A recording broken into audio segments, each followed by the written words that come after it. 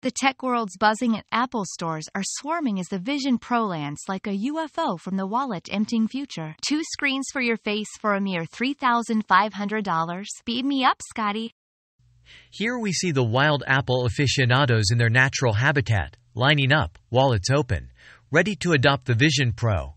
They're shiny new. Wait, how much? Oh, a cool $3,500 gadget baby. Critics say it's astonishing with a capital, but it's got the wow factor. If wow means high quality images and a new hairdo from the heavy headset. And don't forget, you'll need to carry the fashion forward battery pack. And there's Apple's head chef Tim Cook serving up tomorrow's tech today. He says, who knows what will happen?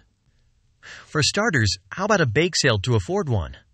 Forget virtual reality. That's so last decade.